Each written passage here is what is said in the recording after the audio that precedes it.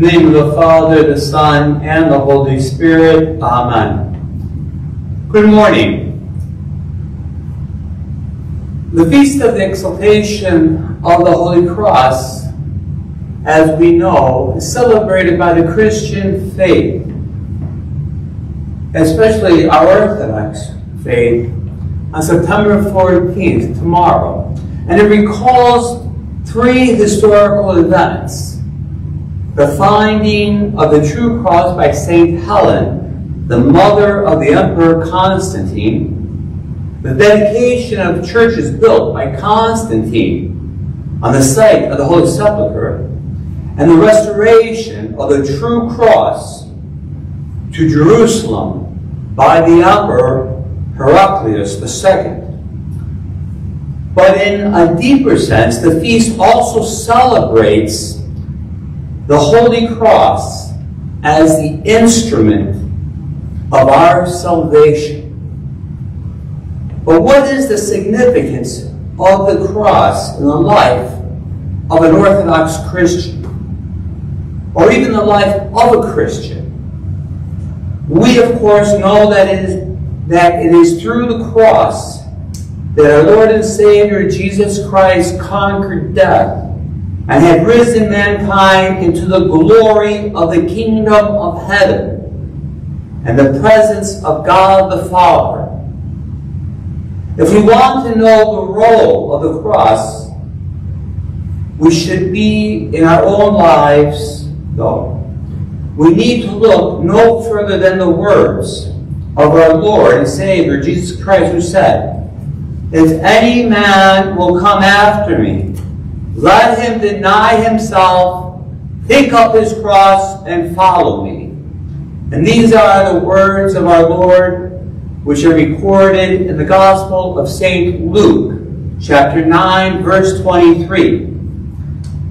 Here, we have our Lord telling us that the thing required of any individual who wishes to follow him is to immediately and continually pick up his very own cross, which are your daily struggles, challenges, personal responsibilities. We are to embrace these challenges and responsibilities and struggles with all our heart and to strive joyfully to overcome them and in the process grow into a more loving, Christ-loving people. Realizing that our Lord taught his disciples the necessity that they needed to pick up their cross and to follow him. It makes sense that we enter into the new ecclesiastical year, which was September 1st. And that was the first major feast of the Lord that our church celebrates. But rather, I'm sorry, the first major feast of our Lord that the church celebrates is tomorrow, the Feast of the Cross, rather. It's clear that the church is trying to remind us the significance of the cross in our own lives and how it is necessary for each and every one of us, all of us, including me, the priest, to pick up our cross before we begin our journey following our Lord in his footsteps. It is helpful for us to remember that the cross was an instrument of suffering and torture, so that we can constantly remind that the life that we live is not easy. That sometimes it will be necessary for us to embrace unpleasant realities within our own lives. The cross is an outward mark or sign of our beliefs, which sets us apart from others. Because we are distinguished by the cross from non-believers in the world in which we live in, we will be ridiculed, And we will have to bear this ridicule. We will be scorned, hated, just as our Lord was hated in his time. And in addition to the cross, we will bear our own cross because of our own sins. The cross is a protective armor that we put on when we are faced with adversity. It is a weapon used to drive away every enemy that we will face from the demons. We turn to the cross in time of trouble, and we make the sign of the cross when we encounter danger, difficulties, sickness, or despair. And I will talk about that in just a moment. The cross is a warning to the enemies of God. Our Lord and Savior Jesus Christ warns those who know of him but decline to follow him, or to follow him half-heartedly, that they will not see the kingdom of God. And he who does not take up his cross and follow me is not worthy of me. We hear these words in the Gospel of St. Matthew in chapter 10, verse 38. But in, all in all, the cross is that beautiful symbol of faith and a constant reminder to all of us that our Lord loves each and every one of us. We're also reminded that we are His children and enjoy His eternal blessings, which He offers to those who love Him and most of all, who are willing to serve Him and to acknowledge him to the world. Orthodox Christians often wear crosses upon their bodies, whether it's a chain around the neck, a special pin, and we trace ourselves by the making of the sign of the cross during prayer as a visible expression of our faith. To make the sign of the cross is very simple, especially when we try to teach it to our children. We use our right hand. We hold our three tips of our fingers, our thumb, our index, and our middle finger, while we bend our ring finger and our pinky fingers against the palm of our hand. And the three fingers express the faith in the Trinity, the Father, the Son, and the Holy Spirit, while the two bent fingers express the two natures of our Lord, is the divinity and his humanity. When the Pharisees and the Sadducees were testing Jesus to find out for themselves that he was the Son of God, although lawyer asked him, which is the greatest of the commandments? And he answered, Hear, O Israel, the Lord your God is one. And you shall love the Lord your God with all your soul, with all your mind and with all your strength. Remember. And we remember this when we make the sign of the cross. And when we make the sign of the cross with our hand, we hold it in a special position. First, we touch our forehead for our mind, then our stomach for our body and our soul. And then we come to the right shoulder and to our left shoulder as a sign for our strength. And when we make these movements, we make it slow and deliberate. Instead of rather quick and sloppy, And sometimes when we see people make the sign of the cross, it's like this. And I asked somebody once in my family, I said, Tika ni que busy is bouzouki. Right? I said, what are you doing? You're playing the bouzouki. And that's not the way we should do it. We shouldn't be embarrassed when we do the cross because this I don't understand. And the children don't understand. But rather, we make the sign of the cross nice and slow. We make this trace an upright cross rather instead of it distorted upside down. And we practice making this cross, I tell the children, in front of the mirror. And one time a child said, when do we use the sign of the making of the cross in our lives? And the answer is every day. The sign of the cross is a great way to sanctify the body and bring Christ into your busy part of your day. Whether you're having a good day or a bad day. And here are just a few times during the day when you can make the sign of the cross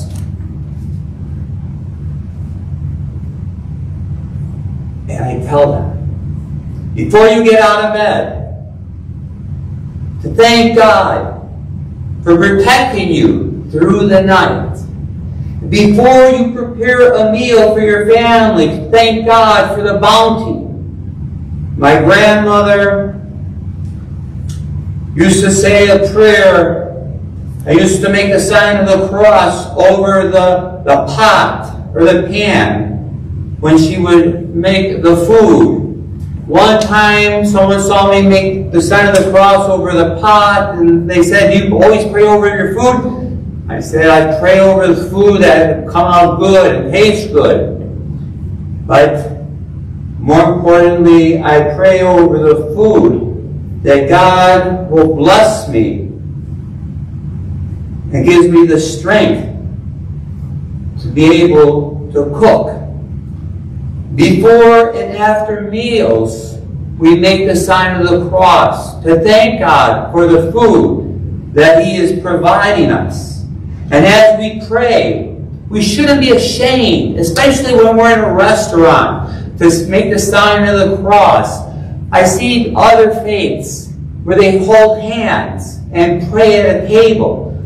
We as Christians, Orthodox Christians, when we're out in public at a restaurant, we shouldn't be ashamed to say a prayer and to make the sign of the cross before we eat. But rather we should be proud, proud of our faith, proud to be Orthodox because of the truth that we hold in our hands, in our heart, and in our souls. When we leave our homes, we make the sign of the cross upon leaving the house and pray to God that we will return from our journey and He will watch over our, home, our house or our apartment.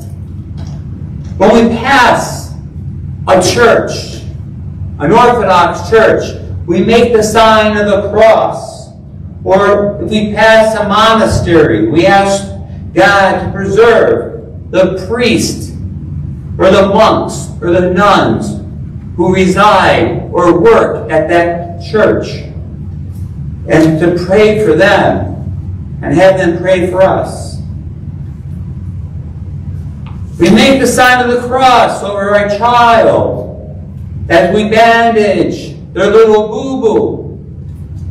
This way, we will give them a sense that our Lord is with them as we bandage their little scrape as a kind of medicine. And we ask that God will take their pain away and heal their little bodies. We make the sign of the cross over any new piece of equipment, tool, book, art supply, or any toy that we give our children, or our houses that we bless as we dedicate them. And we ask God to guide us when using these gifts wisely in his service. We make the sign of the cross before, during, and after a meeting or conversation that we have, especially with someone you know to be difficult, that God will help us to give us the strength to find the proper words to approach people with the Christian love and understanding. As you begin any project, before and after this project or working or studying, to ask God to guide us in our efforts.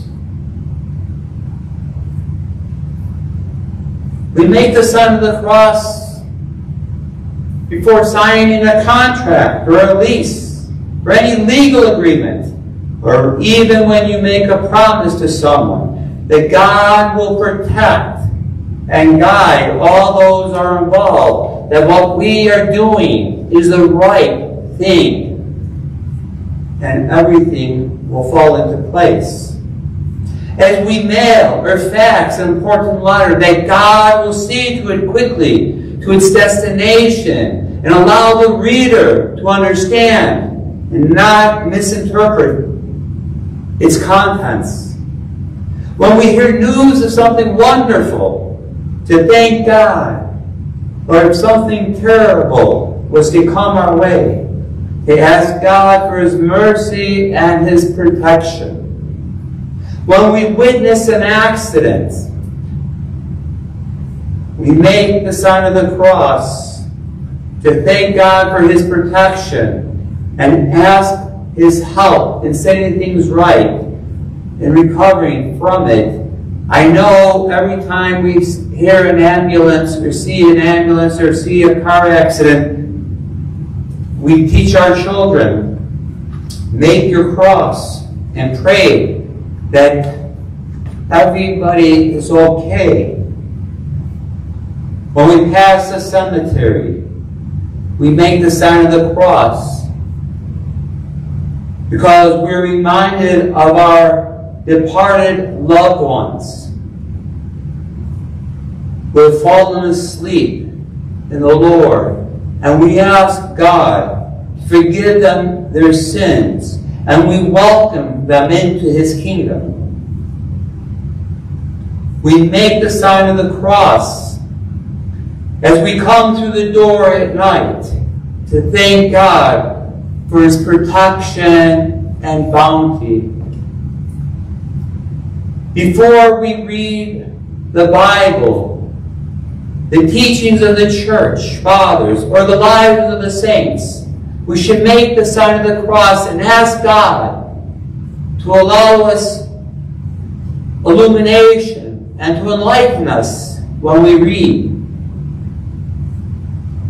And finally, at night before we go to bed, especially with our children, we should teach them to make the sign of the cross and say an evening prayer before they get into bed and ask God for protection while we sleep. There are so many Orthodox prayer books which include special prayers which say special blessings for our children and for adults before bed. And if we wake up in the middle of the night after hearing a bump or a screech or having a bad dream, we make the sign of the cross and ask God for protection from all evil and to guide us and to watch over us. But most of all, we make the sign of the cross as a remembrance that it was the cross that our Lord sacrificed himself for each and every one of us, that so one day we may be with him and live forever in eternity in paradise. May the feast of the cross be upon the blessings, rather, of the cross be with you and your loved ones. And for all those who celebrate tomorrow, Chronia Polla, may God bless you, keep you always, now and forever, and unto the ages of ages. Amen.